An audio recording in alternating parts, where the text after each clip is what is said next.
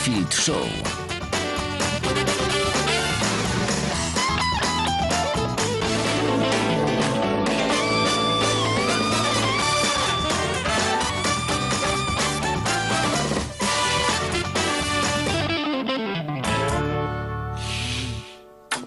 Ostre szkolenie.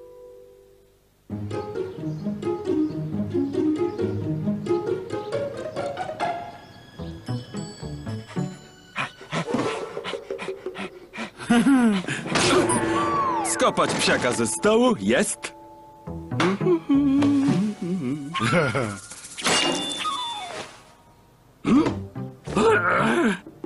Zjeść za Johna lunch jest. Podrapać zasłony jest. Dobra, zrealizowałem wszystkie zadania na dziś.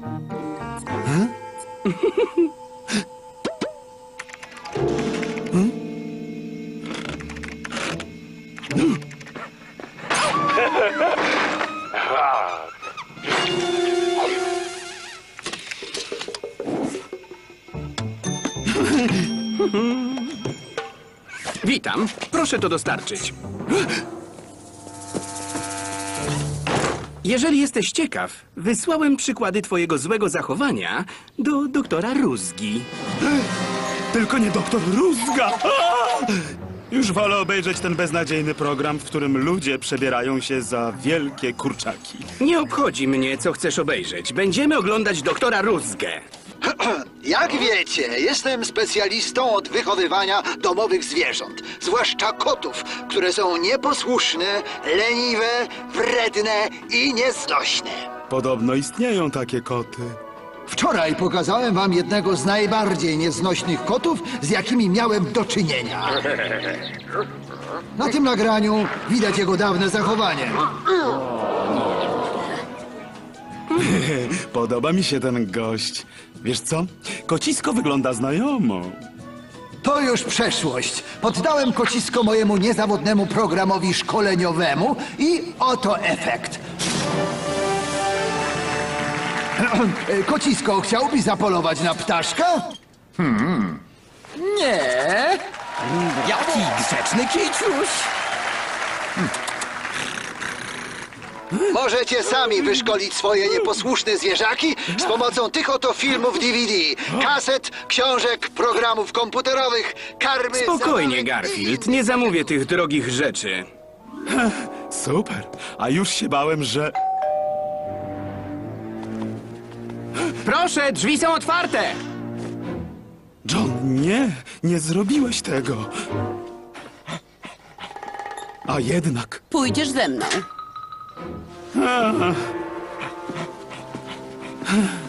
Trzymaj się, Odi. Wrócę tu.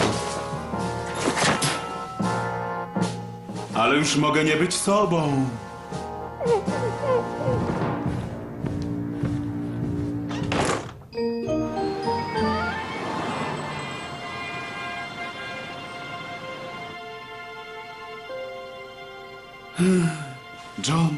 Mogłeś mi to zrobić? O, witaj, kocie. Jeśli będziesz posłuszny, załatwimy to raz, dwa.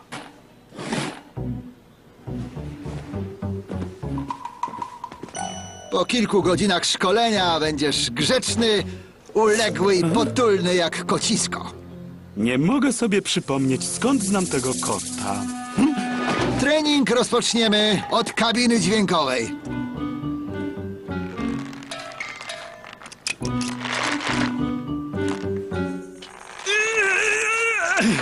Tutaj zaszczepię ci lęk przed głupim zachowaniem. Zapamiętaj dobrze te zakazy. Zostaw te zastrzyki! Zejdź z kanapy! Nie górze! Wrócę do ciebie za godzinę. Nie. No, godzina minęła. O, nieźle jak na początek.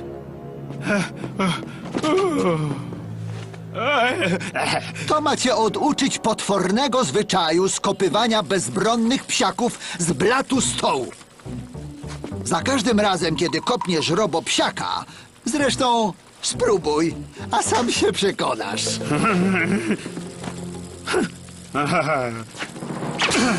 To była łatwizna. Nie puszczę mu tego płazem.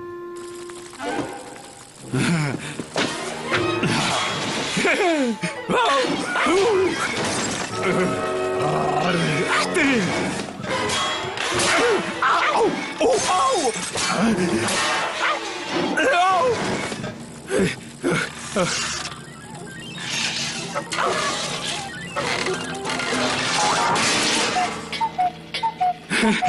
Wiem, jak się czujesz, stary. A teraz najwyższy czas coś zjeść. Mam dziwne przeczucie, że po raz pierwszy w życiu nie sprawi mi to przyjemności. Oto twój posiłek. Porcja kocich chrupek o smaku styropianu. A to jest mój obiad. Stek, ziemniaczane pire, sos, krem z kukurydzy i szarlotka a la mode na deser. Mniam, jeszcze raz mniam. A teraz zjesz swoją karmę i absolutnie nie dotkniesz się do mojego obiadu. Bo wiesz, co się stanie, jeśli zbliżysz się do mojego posiłku?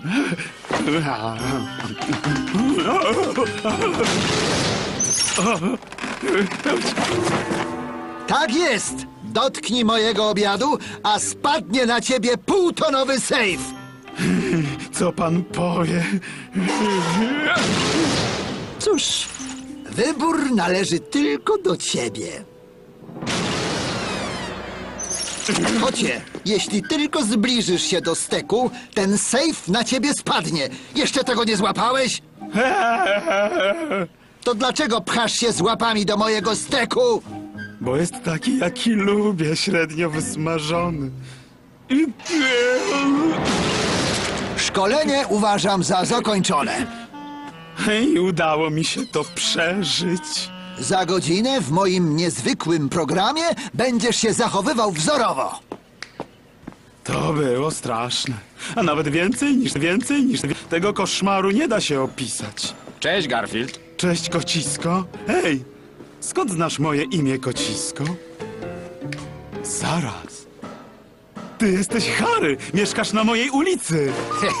to ja! Dlaczego udajesz potulnego kota imieniem Kocisko? Jesteś taki jak ja.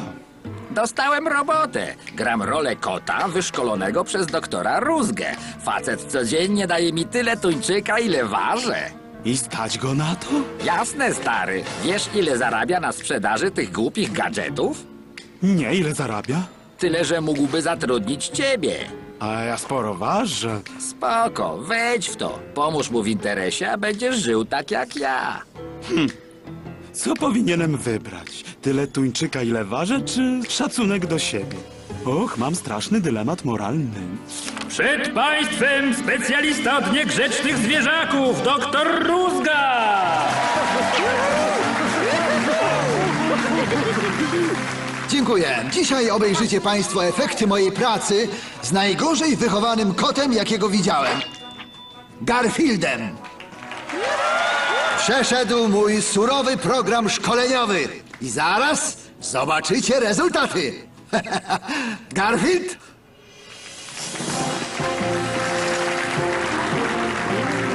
Garfield? Czy odczuwasz potrzebę maltretowania małych psów?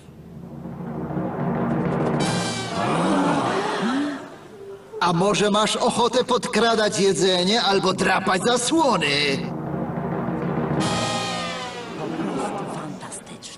Jaki ten kot jest teraz dobrze wychowany. Musimy zamówić książki, kasety i DVD doktora Rózgi. Ale my nie mamy kota. O, bardzo dobrze, Garfield. A jest coś, na co miałbyś ochotę? Tak, to. Brać go! Zjeżdżam. Ten kot jest bardzo niegrzeczny. Myślałam, że doktor Rózga oduczył go złego zachowania. Przepraszam, panie i panowie, muszę pilnie coś e, e, e, załatwić. Mam go! Nie szarp się! I tak nie uciekniesz! Dość tego! Próbujesz popsuć mi interesy, kocie! Kto ja? Słodki, grzeczny kiciuś? Nigdy ci się to nie uda. Ci ludzie są za głupi, żeby się połapać. Nawet jeśli mój program szkoleniowy nie działa, to co? Dzięki niemu zarabiam fortunę. to idioci. Znalazłem kurę znoszącą złote jaja. Nie przeszkodzisz mi! Doktorze Rózga, publiczność pana słyszy. Nie może mnie słyszeć. Przecież mikrofon zostawiłem na scenie. A może chciałby pan coś jeszcze przekazać widzom, doktorze?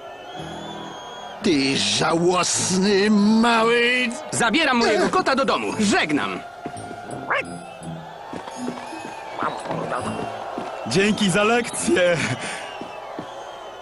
Doktorze Rózga, telefony się wprost urywają. Ludzie masowo odwołują zamówienia. Nie uczył go pan, jak ma się zachować? Uczyłem. Niestety, tego kota nie da się zmienić.